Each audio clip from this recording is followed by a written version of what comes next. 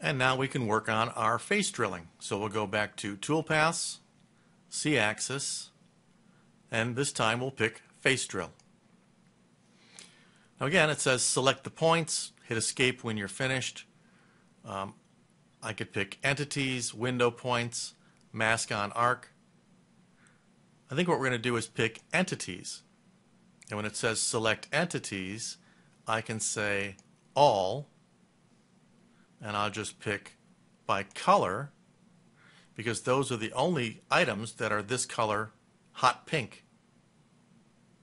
So that was one of my reasons for using a separate color for those to make them easier to select. And we'll OK that. So that's our selection. We'll hit OK again. For my tool, I'm going to select a library tool. This time, because I'm going to be drilling against that tapered surface, I actually want to use a flat bottom drill, or in this case, we might just use a flat bottom end mill to drill that hole. So I'll set my filter to only see flat bottom end mills and we'll say OK. So we'll grab the 3 8 flat end mill and I think we'll double click this just to check our parameters. It looks like it's not a very long tool so I think I'm going to change my overall length to about four and a half inches change my flute length to two and a half and I think that should be good. Let's OK that. Set our cut parameters. I want to do a peck drilling operation.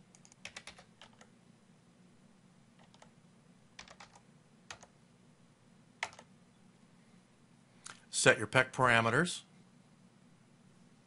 I'll set my linking parameters. Again, these are going to be in relationship to the circles that we picked.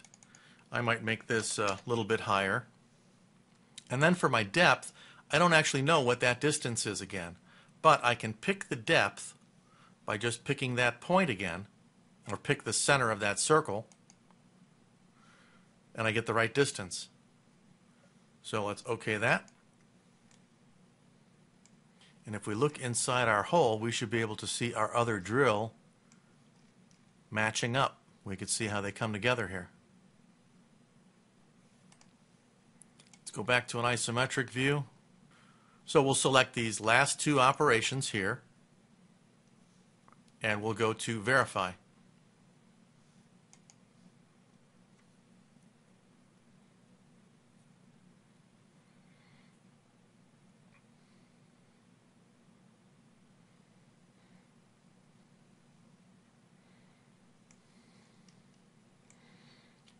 So there we can see how the holes come together.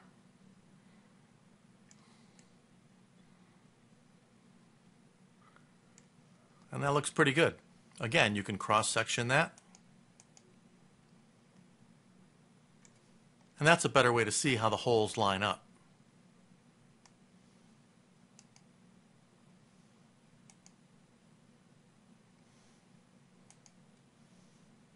You can also go to your options and set this to translucent stock. Let's OK that. Then you can see through it. We'll run it one more time.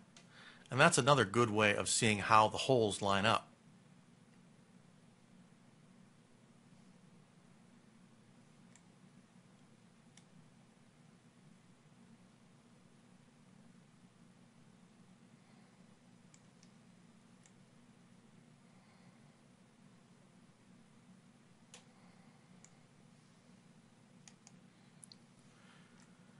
Now I can also grab those two operations and post the code for just those two. I'm going to say overwrite because I think we already posted this once. Okay that. When it says you haven't selected all the operations, do you want to post for all? Just say no. We only want to post for these two.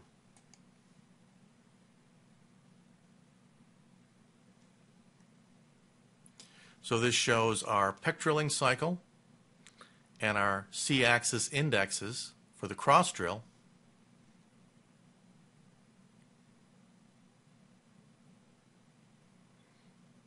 And here we have our peck drilling cycle, and it looks like this is outputting X and Y. So this post must support y-axis motion as well as z-axis motion. And that takes care of our C-axis face drilling.